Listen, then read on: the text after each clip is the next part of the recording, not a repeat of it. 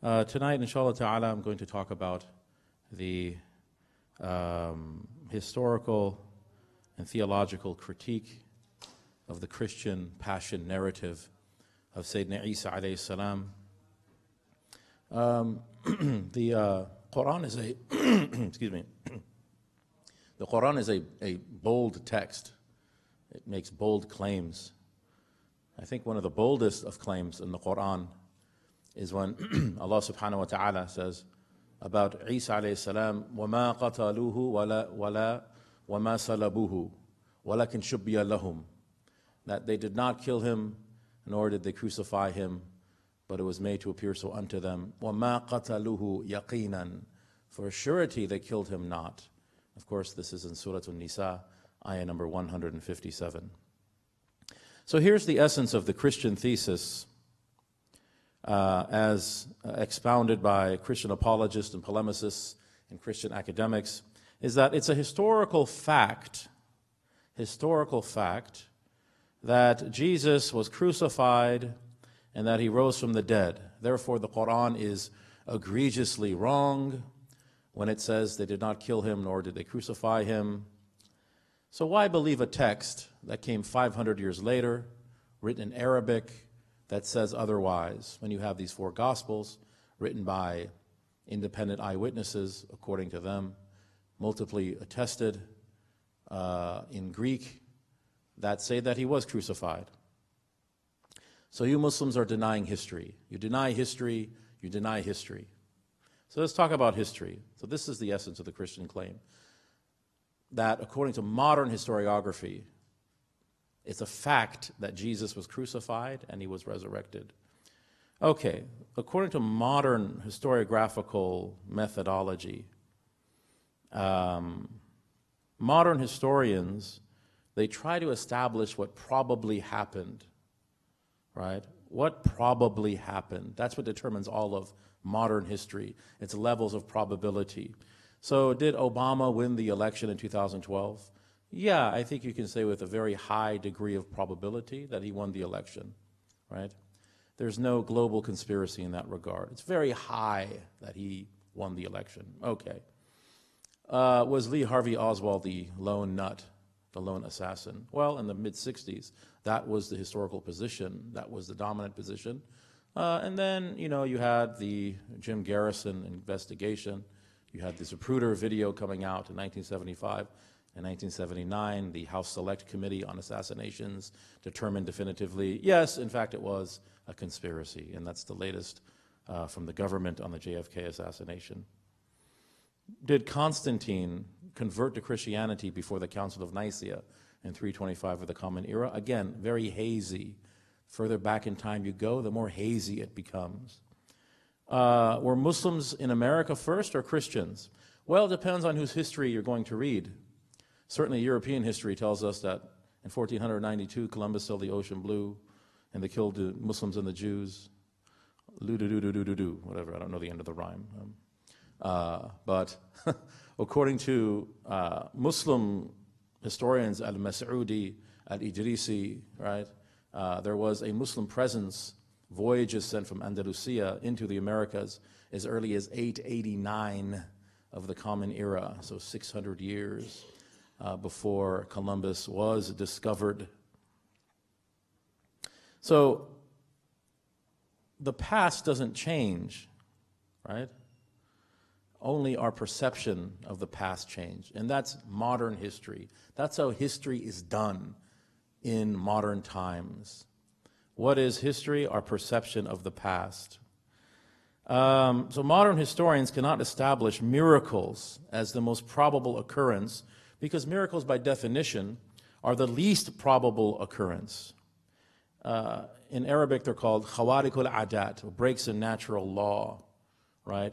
If you, and we believe in them, but if you saw a man standing on the top of a building and I told you he got there one of three ways either he flew up there like Superman, or he took the elevators, or he took the staircase, which one would you conclude is probably what happened?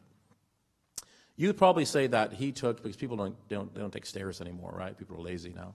So you'd say, and you say, well, maybe he flew. We believe in, you know, karamat, you know, charismata, you know, the miracles of the awliya, but that's such a rare occurrence. He probably went up there with an elevator, right? And that's how history is done. So a miracle, right? A miracle is the least probable occurrence by definition, therefore the least probable historically. So historians cannot presuppose, modern historians do not presuppose God's existence or non existence. They have no access to God. So something like the virgin birth of Isa, salam, that's something we believe as Muslims. So there's a difference between sacred history and secular history. Secular history, um, or non confessional history, is based on probability, right? So that's history with a lowercase h, a small h. Uh, sacred history or confessional history is based on revelation, right? So the Quran gives us sacred history, and we believe that's true history, a capital H. But you cannot repeat past events through experimentation. So you can't prove anything through the modern scientific method that happened in the past. So to say that we can prove that Isa salam was crucified and resurrected, we can prove it through the modern scientific method is false. The only way to do that is either go back in time right, and witness the event yourself, which is impossible, or reproduce the event now, which is also impossible, right? So, if you make, if your thesis is that you know certain types of mice prefer cheddar cheese over Monterey Jack, you can produce that experiment and do it a few times, and then have your conclusion. which you cannot prove through the scientific method that something happened in the past. Maybe it happened, but you can't prove it historically. It is a faith conviction. The resurrection of Jesus, the so called resurrection of Jesus, is a theological claim. It's a theological claim, it's a faith claim. Now, does it have theological consistency? We're going to talk about that later, inshallah. So, this is my historical critique of the Christian narrative, then we'll get to the theological critique. Uh, the big question is Are the four Gospels in the New Testament reliable as historical sources? According to classical historians like Schweitzer and F.C. Baur, Walter Bauer, uh, Rudolf Bultmann, H. Reimarus, and others, they are not reliable historical sources. Uh, according to contemporary historians like Dale Martin, who himself is a Trinitarian Catholic at Yale University, also Bart Ehrman, they also say no, they're not reliable historical sources, but rather theological sources. Why are they not reliable historical sources? According to these uh, historians, they say there's six reasons. They say they're too late. They're written between 40 and 70 years after the events that they purport to describe. They say that they're anonymous. The four evangelists, Matthew, Mark, Luke, and John, do not identify themselves. They were later pseudonymously ascribed to Matthew, Mark, Luke, and John, who are two disciples of Isa salam. One is a disciple of Peter and one is a disciple of Paul. So they're not written by eyewitnesses. That's the third reason. Number four, they're not disinterested. We'll come back to this one. Number five, they're written in the wrong language. They're written in Greek, whereas Isa salam and his disciples spoke Syriac, a Semitic language. And number six, they have certain or numerous inconsistencies that cannot be reconciled or harmonized. Let's go back to number four that the four Gospels are not disinterested. So, this is to say that the four Gospels, Matthew, Mark, Luke, and John, reflect what's known as Pauline Christology, Paul's Christology, who many would argue is the actual founder of Christianity. Paul says in 2 Timothy chapter 2 verse 8, he says, "Remember Jesus Christ, expermatas David in the Greek, literally from the sperm of David, from the seed of David. Interestingly, Paul doesn't know about the virgin birth at all. He never mentions it. He believes that Jesus is literally a descendant of David. He said, Remember, Jesus of the seed of David was raised from the, from the dead, kata ta evangeliu mu in the Greek, according to my gospel. That's my gospel. So if you just scratch under the surface here, it seems like Paul is saying that there are other gospels. And indeed, in Galatians, he does say that explicitly. And we're going to get to that in a minute, inshallah ta'ala. In 1 Corinthians chapter 15, verse 17, Paul says, if Christ is not raised, if there's no resurrection, matea he pistis. Our faith is null and void. Our faith is in vain. Paul is saying everything, every Christian faith hinges completely on this event, the so-called death and resurrection of Isa salam. So you have these four gospels that are basically, they have theological agendas. They're polemical tractates, right? The primary goal of the evangelists, the authors of these books, is to convince you with respect to a theological position, not to describe accurate history.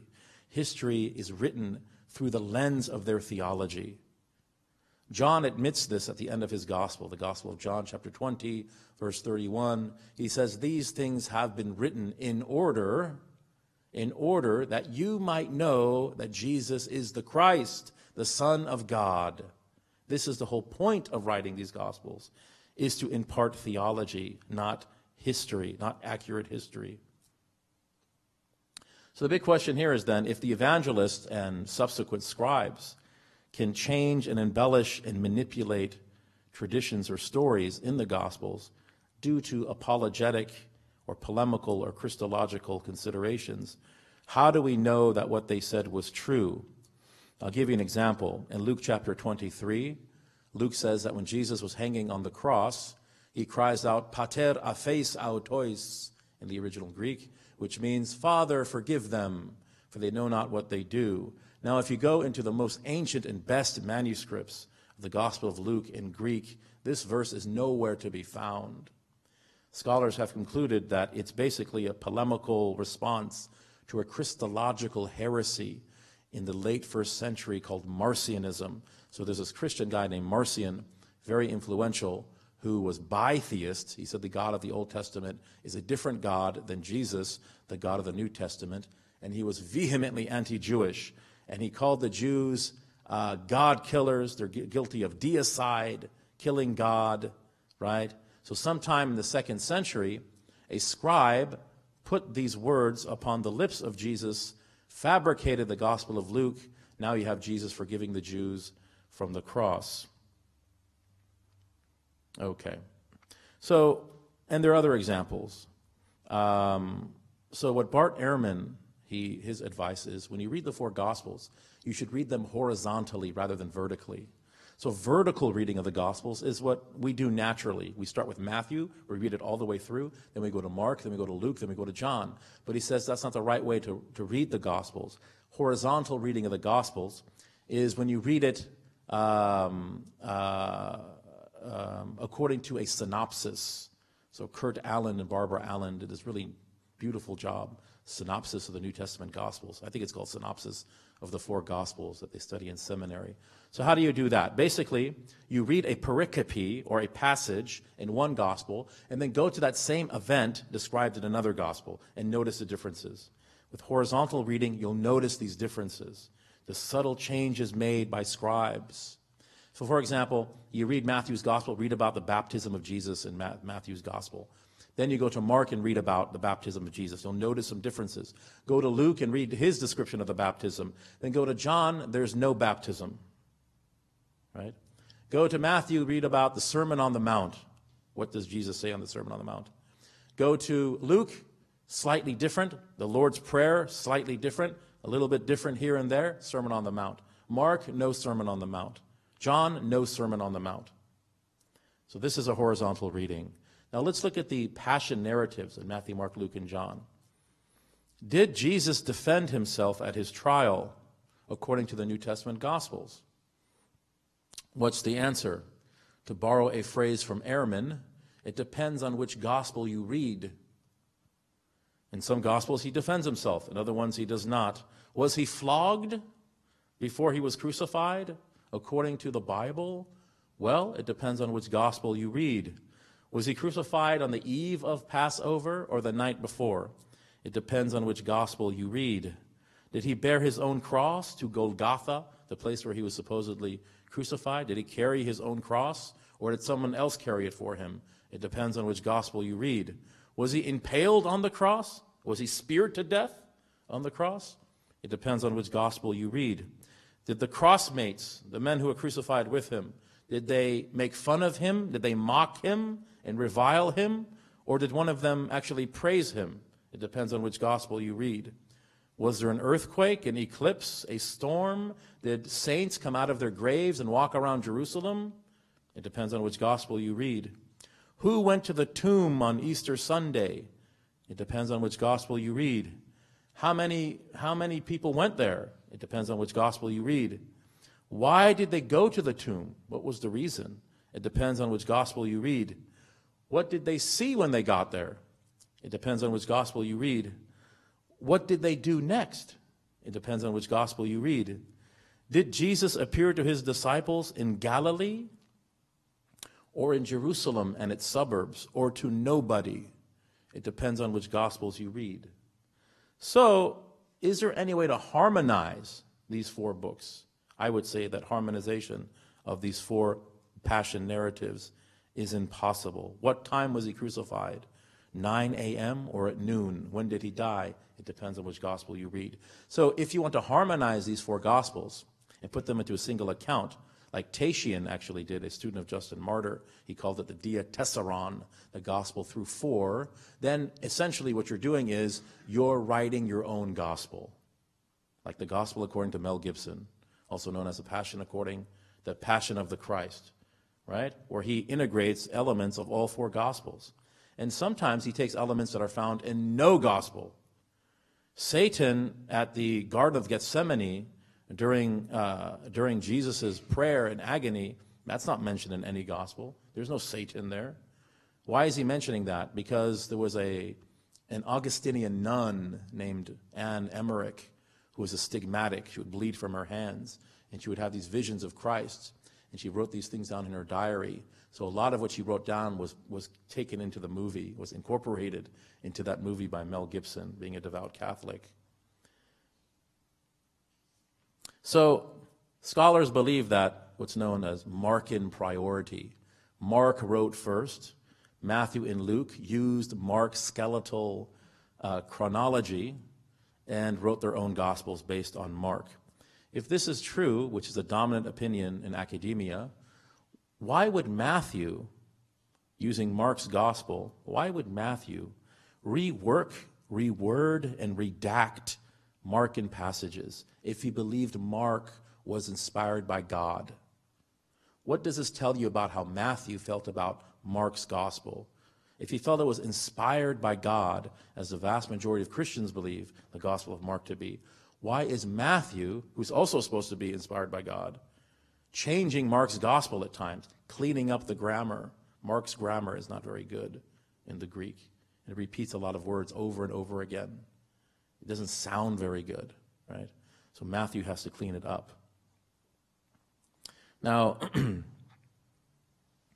uh, William, uh, uh, William Lane Craig and Mike Licona, these are prominent uh, Christian apologists, they admit, they admit that Matthew made embellishments, right? For example, the saints coming out of their graves when Jesus was resurrected, walking around Jerusalem. They say, yeah, that sounds a lot like Plutarch's you know, account of the death of Romulus, one of the founders of Rome. So if they admit that Matthew and Luke and John made embellishments, what else did they embellish? What does it say about these books being the Word of God? Interestingly, there are only four references to Jesus in pagan and Jewish sources.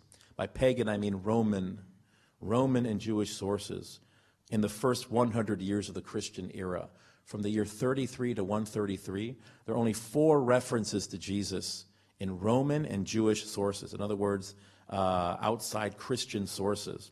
One of them is by the Roman historian Tacitus in his Annals around 116 of the Common Era.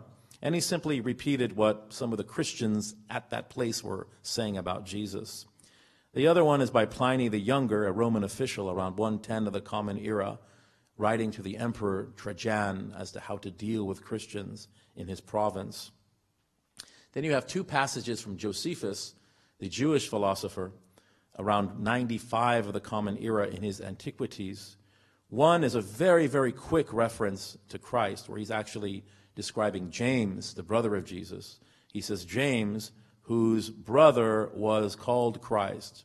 The other reference by Josephus is called the Testimonium Flavianum, uh, the testimony of Josephus, which describes Jesus as the Christ and how he died and then was resurrected.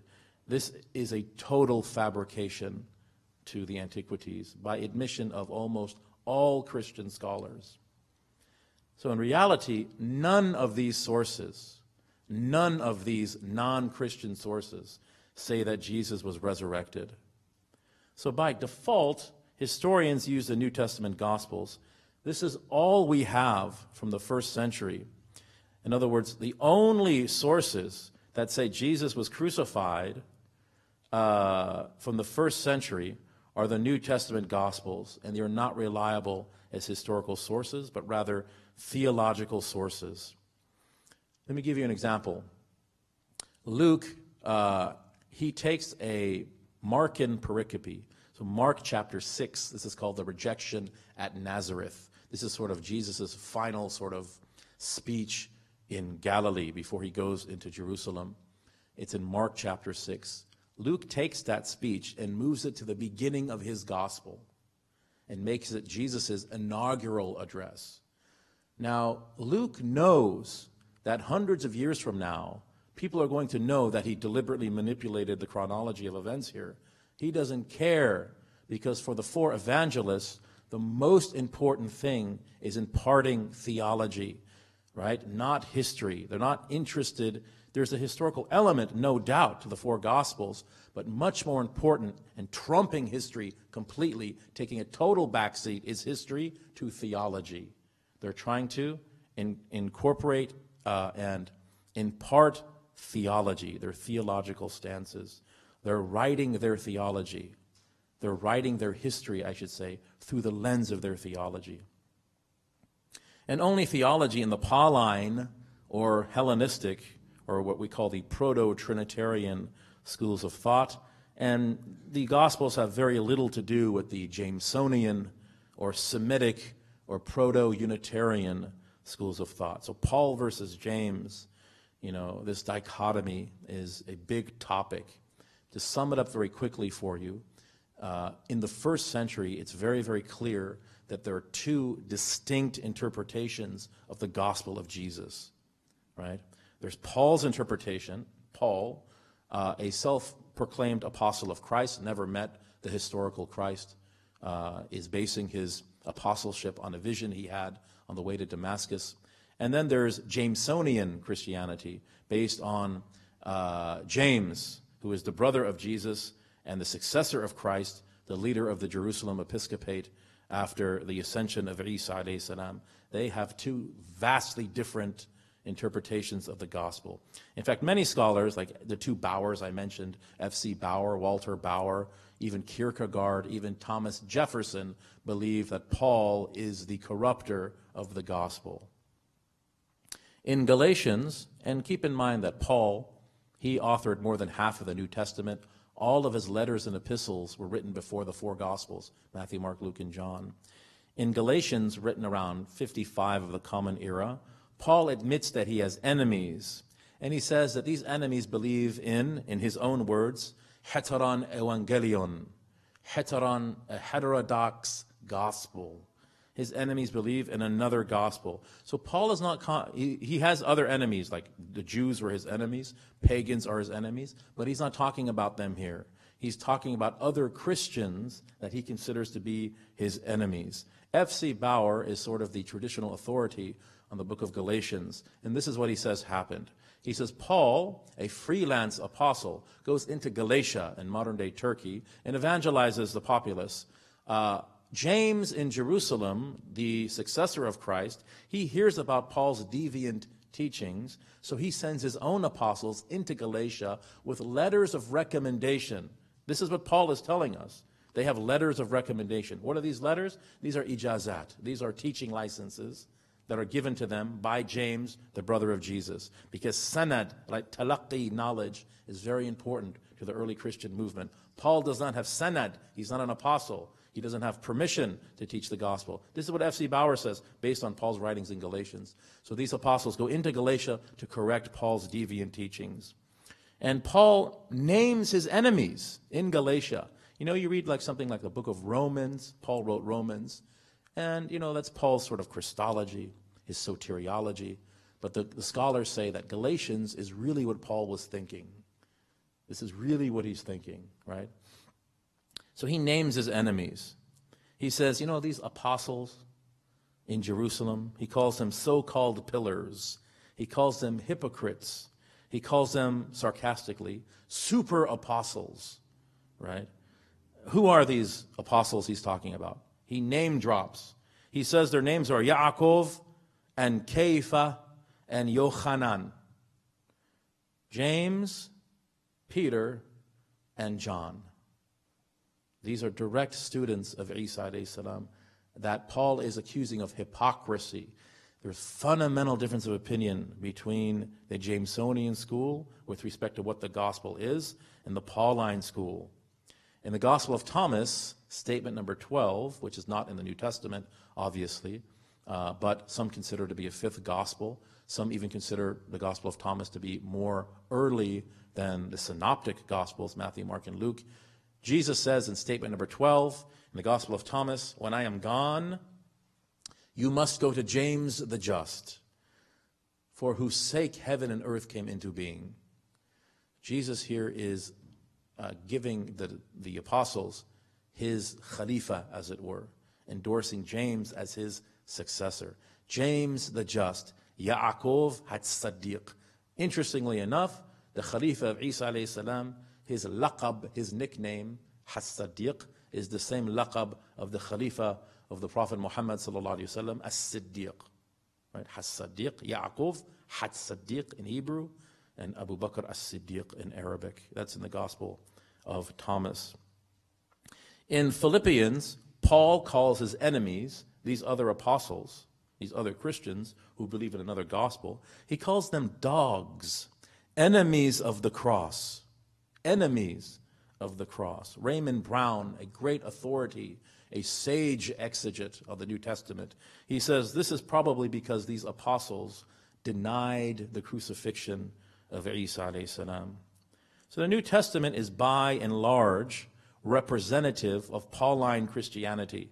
And the cross is central. Remember what Paul said? If Christ is not raised, our faith is vain, is null and void.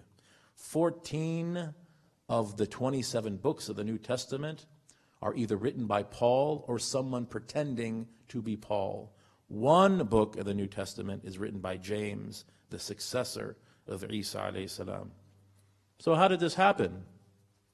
Well, in a nutshell, Constantine, the first Christian emperor, when he converted to Christianity or when he embraced or endorsed Pauline Christianity, he called for the Council of Nicaea in 325, the first ecumenical council, and many of the bishops that were there, 318 bishops, they took a vote. Many of them, historians believe, like Henry Chadwick, were intimidated by Constantine to vote that Jesus is in fact Hama Usias. He is of the same essence as the Father. So therefore Jesus becomes God officially. And of course, in 381, the Council of Constantinople, Theodosius uh, the next emperor or a later emperor, they voted again, and indeed the Holy Spirit was also found to be God by vote. Very democratic process, apparently. All other forms of Christianity were marginalized, declared illegal by imperial mandate.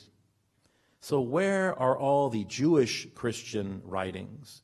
Where are their books and their polemics and their apologies they're gone because they redeemed heresy. We know that there was a book called The Gospel of the Evyonim, the Gospel of the Ebionites. We know there was a book called the Gospel of the Nutzrim, of the Nazarenes. We know there was a gospel called the Gospel of the Hebrews. The uh, communities that authored these books did not believe that Jesus was God, nor that he died for their sins. They believed they were practicing Jews who worshiped in the temple. They followed the kashrut and the mitzvot. They followed all the laws and commandments. The only difference was that they believed Isa salam to be HaMashiach, to be the Messiah.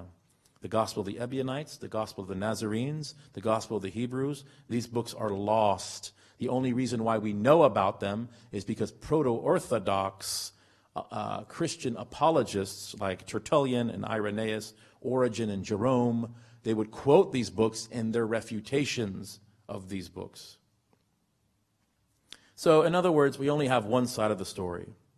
So, the four Gospels are not reliable historically, and they only represent one side of the conflict.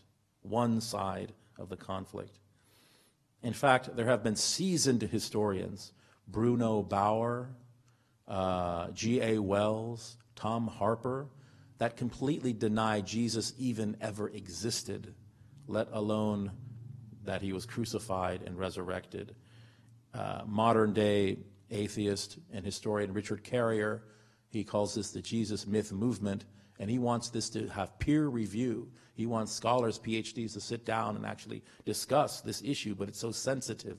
Now, of course, I wouldn't go that far, and we can't go that far, because we know Isa salam existed, because As-Sadiq al-Amin, Sayyidina Muhammad sallallahu alayhi wa sallam, he said that Isa salam existed. In qalahu faqad sadaq. And if the Prophet sallallahu alayhi wa said it, then it's true. Right? But I would argue this idea that it's historical fact that Christ was crucified, I would say that needs to be reviewed by peers, by academics. Okay. you know, it's interesting. There was a there was a preacher called Apollonius of Tyana. He's a com- contemporary with Jesus. He lived in a different country, though. He died around 100. He, he was like from 15 to 100 of the Common Era and he performed miracles and things like that. And he was also seen by his disciples after his death. You know, my question is, you know, why don't Christians believe that Apollonius of Tyana was seen by his disciples in visions? Mike Licona answered, because I debated Mike Licona. You can actually find this on YouTube if you want. Uh, we debated like 2006 or something. He said, you know, those accounts about Apollonius of Tyana, he said they're late, they're not eyewitness accounts, and they're all biased. Said that's exactly what historians say about the New Testament Gospels. They're late, they're not based on eyewitness accounts, and they're very biased. Licona will say, however, everyone agrees that the Titanic sank, right? There's only differences in the peripherals. In other words, everyone believes Jesus was killed and resurrected. There's a little bit difference of opinion on sort of, you know, side issues. But the sinking of the Titanic is probable because there's physical evidence of it. There's forensic evidence. There's eyewitness testimony. But the resurrection of a man God is highly improbable. In fact, miraculous. And by definition, a miracle is the least probable occurrence. The historian cannot say Jesus rose from the dead, but only that he was claimed to have been seen after his death. Bart Ehrman says, you know, visual experiences of Jesus documented thousands of times are much more probable than the miracle of the resurrection. This is theological, it's a faith conviction. Also, we have no evidence as to how the disciples died. Christians want to say to disciples, they died defending the truth that Jesus was resurrected. We have no idea how the disciples died. There were third century sort of romantic legends about them. You know, Thomas going into India, Thaddeus going into Iraq, Mark founding the church in Egypt, even Andrew going as far as England. But nobody takes these stories very seriously. Um, so I want to give you Bart Ehrman's historical hypothesis, and he's got many of them. So he's, he, he's trying to um, he wants to present a narrative, a passion narrative of Christ that is more probable and therefore more historical than the Christian passion narrative because it's devoid of miracles. This is what Ehrman says. He says, Jesus was crucified, he was killed. He has no reason to question uh, this, this event. He was killed. He was put into a common grave, he says. And he points out that most times the Romans would not allow families to claim uh, the bodies of crucified victims. It was almost unheard of. It would be thrown into common graves. Jesus was then seen in visions by certain people, his disciples, because they loved and longed for him. And he said it was very common. And then the myth of the empty tomb began later. Interestingly, Paul does not mention an empty tomb anywhere in his writings. And this idea of a, uh, a dying and rising Savior man God, a soter man God, uh, was very common or attractive to Hellenistic Christians at that time. We'll get to Paul's pneumatology a little bit later. So this is what Ehrman says probably happened. Because this is more probable, this is more historical than the Christian passion narrative of Jesus being crucified and then being resurrected. In fact, according to Dale Martin, it was Helen, the mother of Constantine, in the fourth century, who first chose the place of the tomb of Christ and the building of the Church of the Holy Sepulchre. It was not known with any certainty before this time. Now, what I'm going to offer now are four more probable, hence more plausible, naturalistic, hence more historical, hypotheses as to what happened to Isa salam that is simultaneously more consistent theologically with pre-Christian Jewish messianic expectations than the uh, Christian passion and resurrection narrative.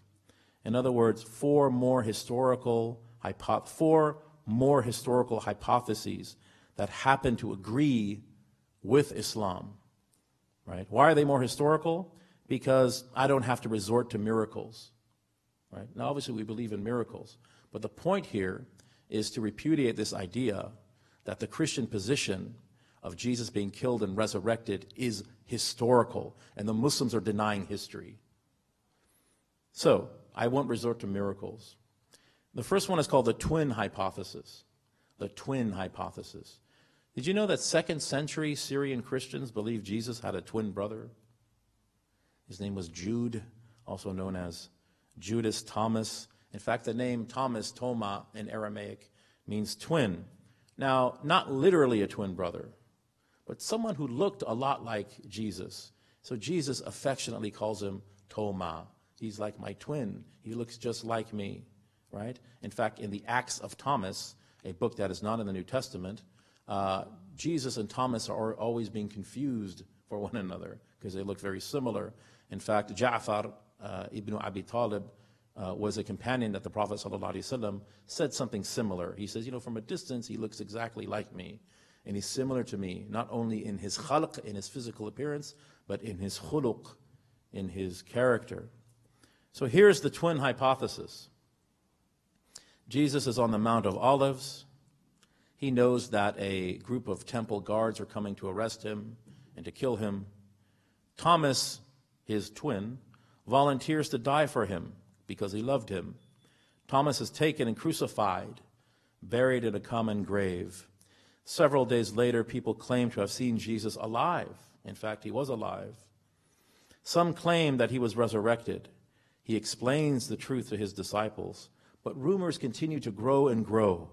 Eventually, legends of an empty tomb begin amongst Hellenistic Christians who are already attracted to this idea of a dying and rising Savior man God. Christians like Mark, who writes in 70 of the Common Era, 40 years later, Matthew and Luke follow suit. So, this is a hypothesis which is more historical than the Christian passion narrative, because I didn't have to resort to a miracle. Again, the claim here is that Christians are saying that Jesus dying and being resurrected is historical bedrock, and Muslims are denying history. But to say that Jesus was resurrected, resurrected himself, is not historical. That's not how history is done. That's a faith conviction. And now, in light of new archaeological discoveries, we'll get to those later, this whole idea of Jesus being crucified as being historical fact, that has to be reassessed as well. Second theory is called the Barabbas hypothesis. So for this one, you can see Bruce Metzger's textual analysis of the New Testament. He goes into it a little bit, but I'll uh, sort of give you the, uh, the, the, quick version of it. So we are told that uh, it was Roman custom uh, for the Roman governor of Judea, whose name was Pontius Pilate, that once a year before Passover, he would simply release a Jewish prisoner that he had in custody, right, as a show of goodwill. Now, there's no uh, historical evidence of this ever happening in Roman records, right? So this could be another example of Matthew uh, writing history through the lens of his theology. Because you think about it, on Yom Kippur, a lamb is slaughtered and one is released, right? It seems like Matthew has this in mind. So two men are going to be presented, one's going to be released, one's going to be slaughtered. So this could be something non historical, but Matthew's trying to make a theological point. But let's just say it is historical. Let's say it did happen, even though it's not attested in Roman sources. Let's say Pilate did have this custom. So this is what it says in Matthew 27. It says Pilate brought out two prisoners. One was named Barabbas, the other was named uh, Jesus Christ, right? Uh, and he says, Which shall I release to you? And the crowd screams, apparently, they say, Release Barabbas and crucify Jesus. So then, according to Matthew, uh, Pilate releases Barabbas and crucifies Jesus. Now, what's interesting is that early versions of Matthew's gospel give us the first name of Barabbas. It's an interesting first name. Does anyone know what his first name is? Jesus is also Jesus. And in fact, Barabbas is not a name, it's a title, it's a patronym.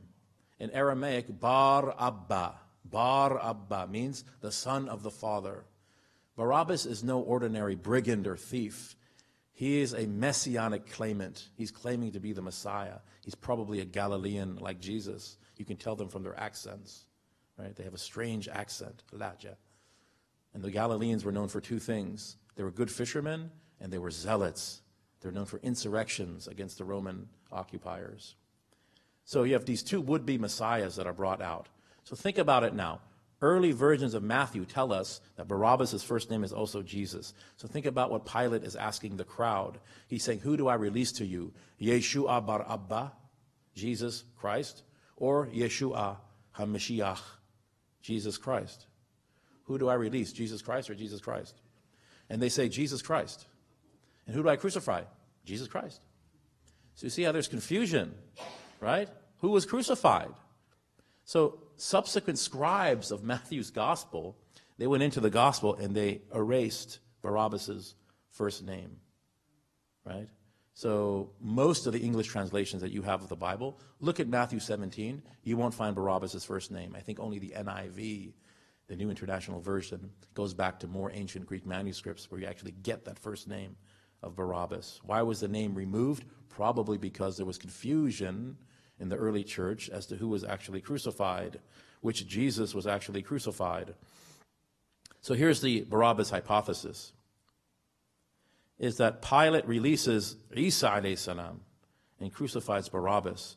Many in the crowd are confused and don't know who is who.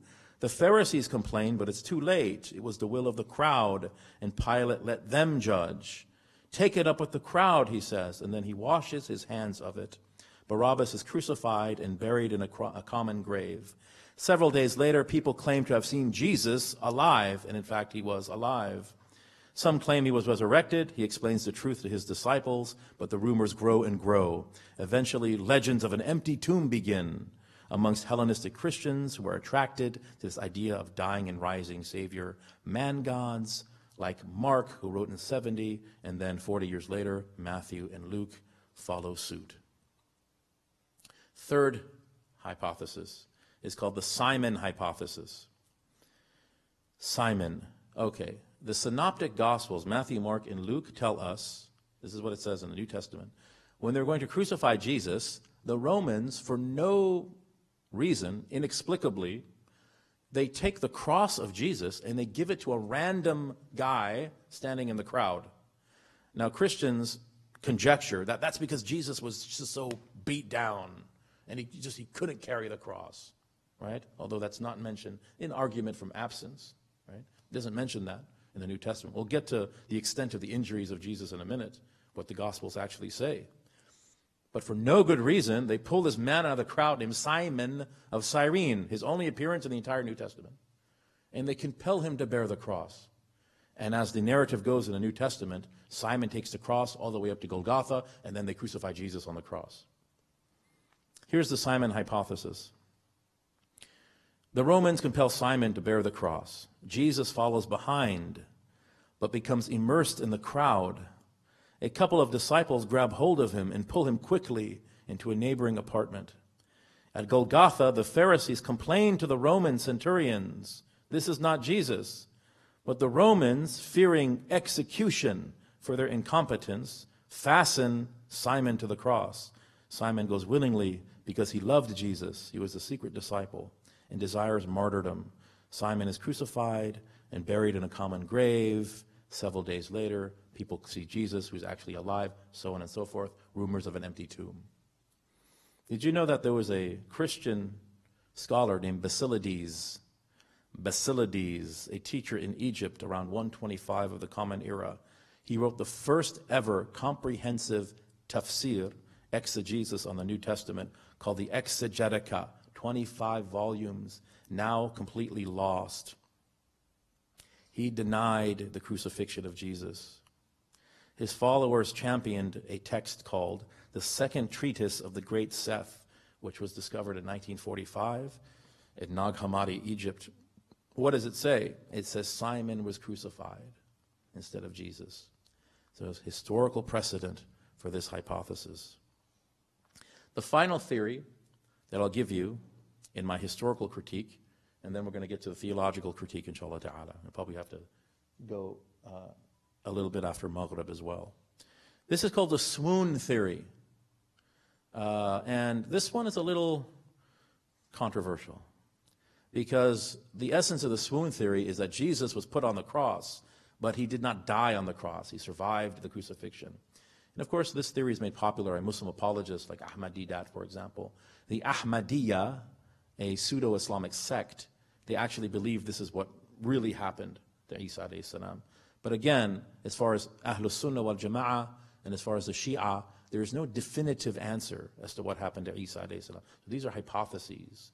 The swoon theory is very interesting, though. So I'll say it for the sake of argument. So in Luke 11 and Matthew 12, the Pharisees come to Jesus. So anytime Luke and Matthew, I won't get too technical here, anytime Luke and Matthew have material in common that is missing from Mark, the dominant opinion from Western academics is that Matthew and Luke had access to another source called Q. They call it Q, the sayings gospel. And the sayings gospel represents the most accurate teachings of Christ, written concurrently with Paul's letters. So they haven't been touched or tainted by Pauline Christology. So, what Jesus says right now is, is considered by Western scholars of higher biblical criticism to be extremely accurate as far as uh, representing the actual teachings of Isa. Luke 11, Matthew 12. The Pharisees come to Jesus and they say to him, Give us a sign, do something, do a miracle, pull a rabbit out of your hat.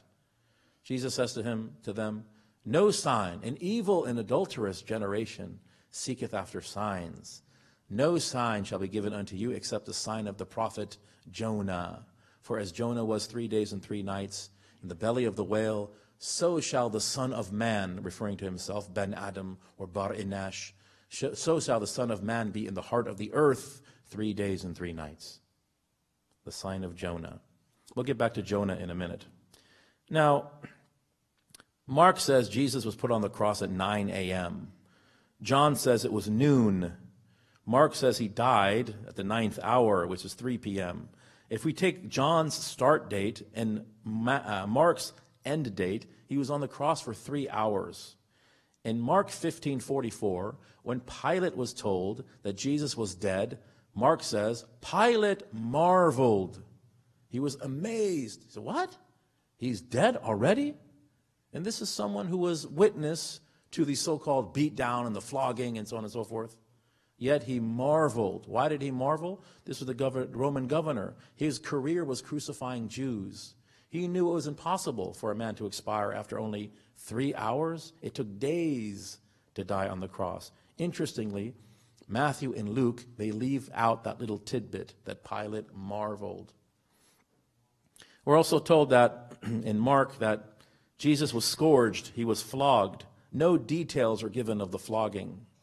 So, in popular sort of depiction of Christ in movies, you have Jesus being whipped within an inch of his life. His bowels are falling out of his back, according to Joshua McDowell, a Christian apologist. But there are no such details given in the Gospels.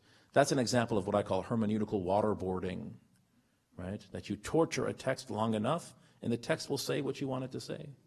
Yeah, he was flogged. He was a bloody mess. His flesh was cut to ribbons. That's not historically accurate, even. The Romans did not do that. In fact, Luke says that Pilate only threatened to flog him and never actually flogged him. Pilate says, I'll chastise him and release him, which means that flogging was meant as a sort of minor punishment, because I'm going to release him after that, not leave him as a bloody mess to bleed out and die. But he never actually does it. Only one gospel says he was nailed to the cross. Only one out of four.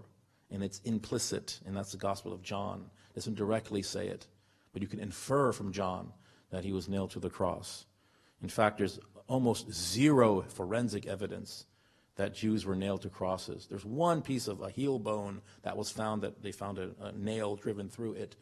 But according to Josephus, Titus General Titus, he uh, crucified so many Jews in Jerusalem that they ran out of lumber. So, uh, tens of thousands of Jews being nailed to crosses, almost zero forensic evidence of being nailed to a cross. Most likely, he was tied to the cross. Another thing, so this idea, you know, of him being beaten beyond recognition, he's bleeding to death, is untenable right? Why do the Christians overemphasize the pain of Jesus in popular iconography? It's because his pain is our gain. The more he takes a beat down and dies and it's painful, the more we are forgiven for our sins, right? His pain is our gain. Now, when he's on the cross in John, we're told that there's a, a an eclipse, a solar eclipse and the Jews say, oh, look, Sabbath is approaching, and it's a defilement to our land that people are hung on crosses. Get him down from the cross. So the Romans, um, apparently at the beck and call of these Jewish leaders, they start breaking the legs of his crossmates. Because if you break someone's legs, they immediately suffocate on the cross. Because you're hanging from the cross, you're kind of stuck in uh, an inhale position. In order to get breath out, you have to push up with your legs right? And you keep doing this for days until fatigue sets in, and then you die, right? So if you break a man's legs, he can't push up for oxygen. He dies immediately, suffocates. And it says in John that when they came to Jesus, the Roman soldier looked at him and said, He's already dead. And then he spears him, but the spear is only mentioned in John, right? so no pulse was taken. Could have been comatose. You know, in uh, in pre-modern times, you know the, the term graveyard shift? You guys worked a graveyard shift? Your security guard or something? So where does that term come from? There used to be a guy that used to sit in graveyards. Which Quite often what would happen is a man would die and they would bury him. The doctor at that time would say, yeah, he's dead. But he was actually in a coma. So they'd put this pedal at the end of the coffin that was attached to a rope that would come up through the earth attached to a little bell. So it's quite often that someone would wake up in their grave and start kicking their feet, and then ding, ding, ding, ding, ding, ding, ding, ding. And then this guy who's working the graveyard shift, he would go down and start taking this guy out of his grave. That was medicine back then. You know, you, you, can't read brain waves. He eh, doesn't seem to be breathing. He's dead. So no pulse was taken from Jesus on the cross. Now, interestingly, we're told in the Gospels, Gospel of John, Jesus had secret disciples from the Pharisees one of them was named Joseph of Arimathea, who came and took Jesus' body very quickly and took it to his own grave. Joseph of Arimathea, his own grave. And then he rolled a stone in front of the grave. So, according to the swoon theory, Joseph did in fact take the body of Jesus. He took it to a safe location, and then he rolled the stone in front of his tomb, his own tomb, his empty tomb. Jesus recovered over the next few days. Jesus was seen alive. Some claimed a resurrection. So they went to the tomb, they removed the stone, and lo and behold, it's empty because he was never there.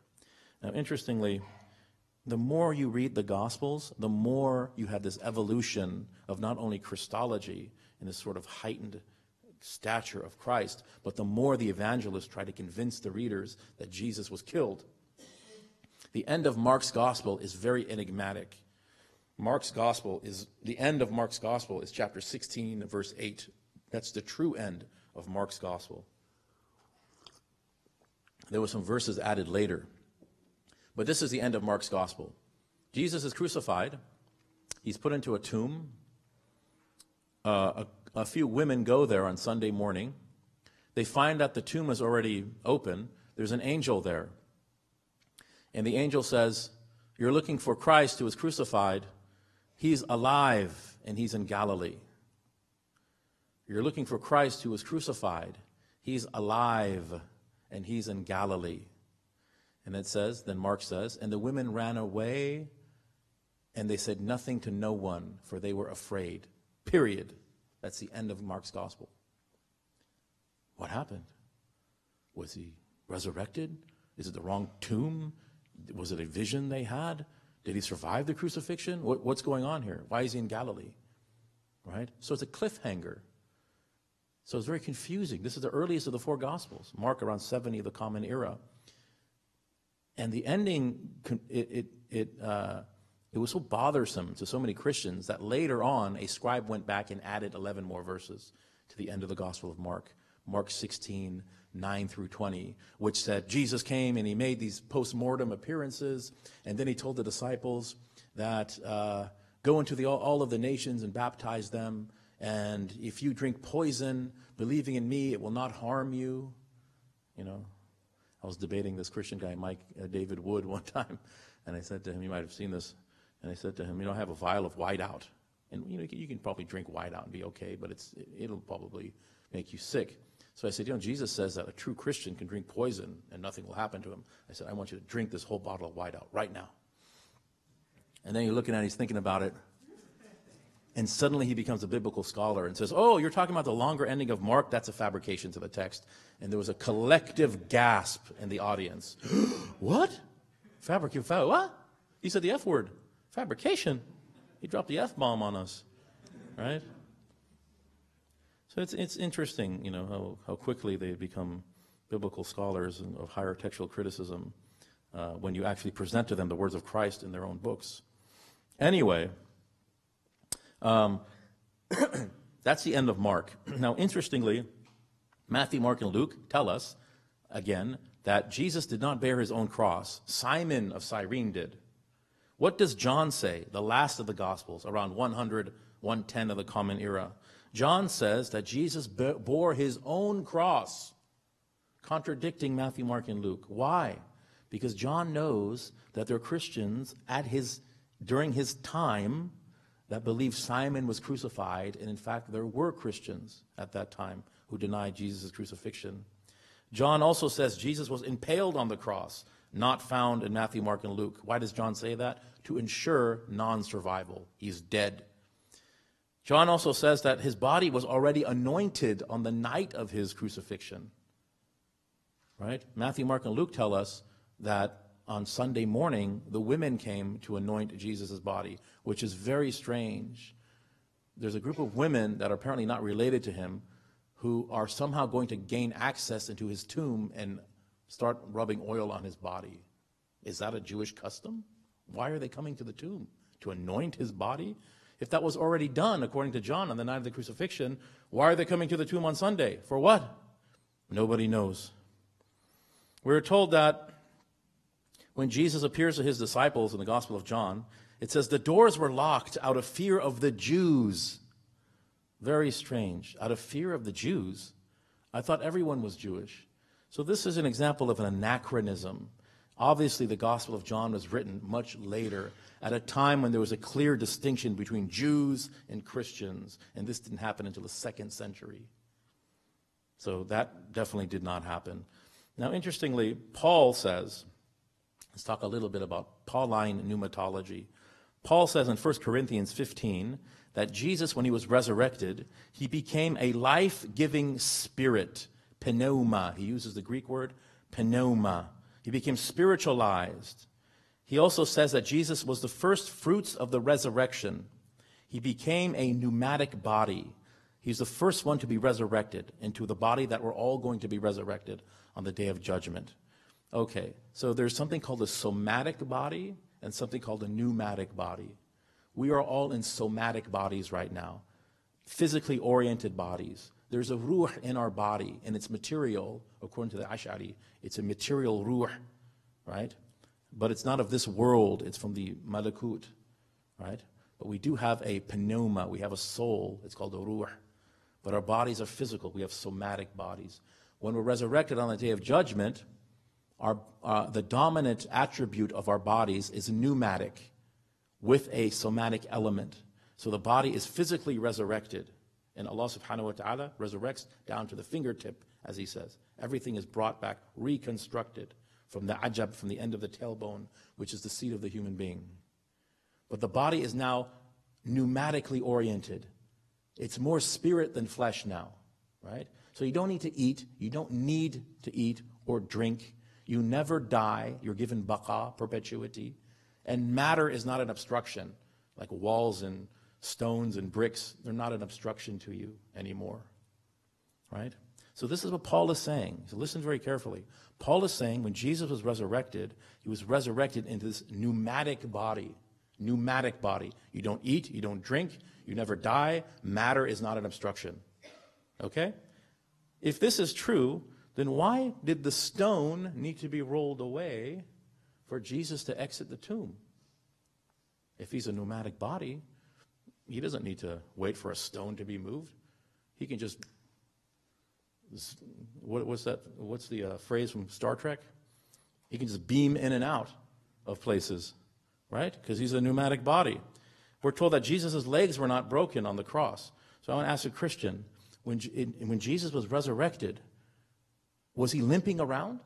Because if his legs were broken, let's just say his legs were broken, would he be limping around? He said, no, no, no. He would be healed. Then how come his, his nail marks weren't healed? He showed Thomas, Behold my hands and my feet. Thrust your hand into my side where he was speared. Why weren't those healed? Is there a selective healing process to resurrected bodies? So it's very mysterious. It doesn't make any sense. Jesus is in disguise after he's resurrected. You know, in the Gospel of John, it says Mary went to the tomb and he's not there. He hears a voice behind him. She turns around thinking he's a gardener. Do resurrected bodies look like gardeners? Why does she think this guy's a gardener? Because he's disguised as a gardener. That's why. Why is he in disguise? Why? Because he survived the crucifixion. And if Jewish leaders see him, they'll make sure that they put an end to him. And then he says, Touch me not. So what does Mary do? Mary actually hugs him. So this is his wife. It's obvious Mary Magdalene is his wife. No doubt about it.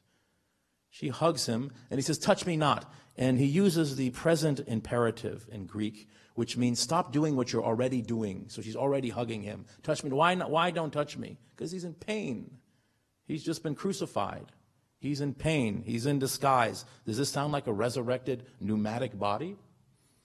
Furthermore, in the Gospel of Luke, he walks down the street. Two disciples meet him. He's still in disguise. They don't recognize him. They walk all the way to Emmaus, like three or four miles.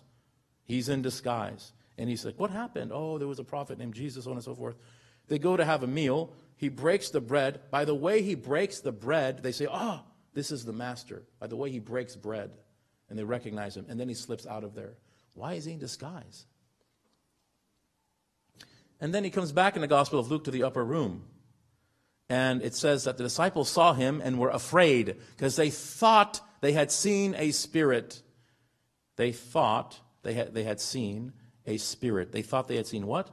a resurrected body. Go back to the sign of Jonah. What happened to Jonah? Very short book in the Old Testament. Jonah was um, an Israelite. He was sent to Nineveh uh, for da'wah, and he was there making da'wah, and then he thought to himself, these people are not going to believe. So he leaves the city without asking Allah subhanahu wa ta'ala. So he goes and tries to catch a boat to this other city called Joppa. While he's in the ocean with pagan men, there's a tempest, and he knows exactly why it's happening. So the men start to draw straws as to, you know, who, uh, who, who they're going to throw over, because they, they recognize also this is because of a bad omen that someone has brought. And Jonah says, don't worry about doing that. It's because of me. I'm going to jump in willingly into the ocean. They say, okay. Jonah jumps into the ocean. The, the waves calm. The men row away from him. Imagine you're one of those men on the boat rowing away from Jonah. What is your logical conclusion as to the state of Jonah? What's going to happen to him? He's a prophet, so he's strong, but he's probably going to drown. He can't tread water for very long. So you think, oh, that's the end of Jonah. And then you look back, and a whale or a fish or some kind of creature swallows him. Now you're like, he's dead. There's no doubt about it, right? You're back on, on the shore. You're one of those men in, the, in, the, in, the, in that boat. You're back on the shore three days later. You look over Jonah walking towards you. What are you thinking? It's a ghost, right? This is exactly what the disciples thought they had seen when they saw Jesus. They became afraid because they thought they had seen a spirit. They thought, right? For as Jonah was, remember from the Q source? Mark 11, Matthew 12. For as Jonah was, so shall the Son of Man be. How was Jonah in the belly of the whale? Alive. How was the Son of Man in the heart of the earth? Alive. Not dead, not resurrected. So, what does Jesus do here? He says, Handle me and see. A spirit has no flesh and bones, as you see that I have. Again, Paul says when Jesus was resurrected, Mike Licona says, Paul taught the total transformation of Jesus' body. Total transformation. Resurrected into a spiritual body. The first fruits of the resurrection. A life giving pneuma, yet in disguise. Eating food. Handle me. I have flesh and bones. This is not a resurrected body. This is the same exact Jesus. And then he says, Do you have anything to eat? And they say, Yes. Here's a fish and a honeycomb. And then he eats it to prove what? That he's a resurrected body, that he's a spiritualized body? No, to prove he's the same exact Jesus. So, what do we get out of all of this? And why is he in disguise? And why in Matthew, Mark, and Luke, uh, the angel says to the disciples, Go to Galilee. He's not here. Because he has to get out of Dodge. Right? Because if they spot him, they're going to kill him. He survived the crucifixion. So, we can conclude there's three types of resurrections in the New Testament. Three types of resurrections. There's a Lazarus resurrection. Jesus resurrected a man named Lazarus, right? In, in John chapter 11. And the Quran confirms that he resurrected people bi'idhnillah. And Imam Ghazali says his name was Lazarus in the Ihya. Allahu A'lam.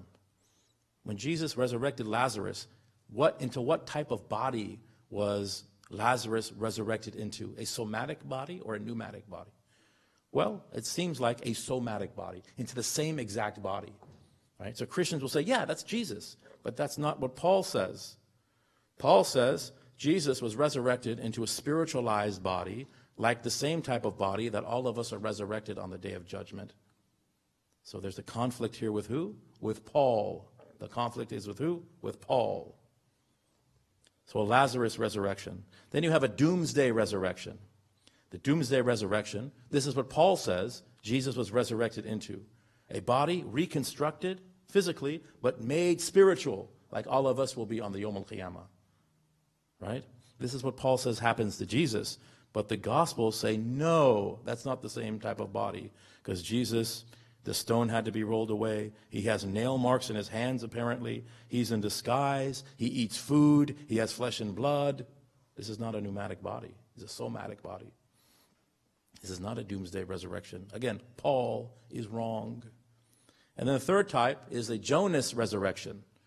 The Jonas resurrection, not the Jonas brothers.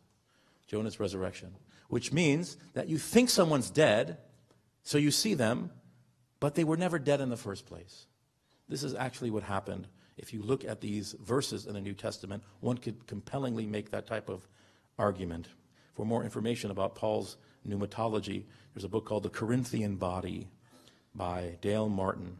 There's another way of reading Paul also.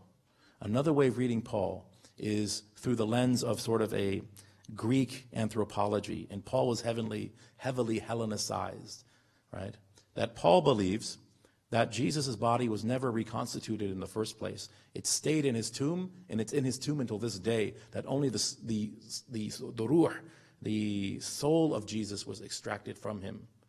And some scholars believe that's what Paul is actually saying, and that's why Paul never, ever mentions an empty tomb in any of his letters, because it's not important to him because he's operating through the framework of a Hellenized Greek anthropology, not a Jewish anthropology. Okay. I want to start now. I know I've been talking for a long time. Um, I think we're gonna, when are we going to pray Maghrib?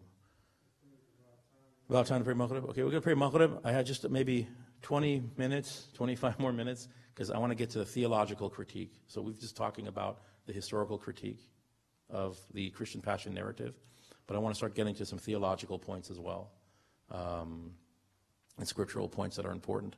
So let's pray Maghrib, and then we'll come back quickly, inshallah, for maybe 20, 25 minutes. Jazakallah khairan.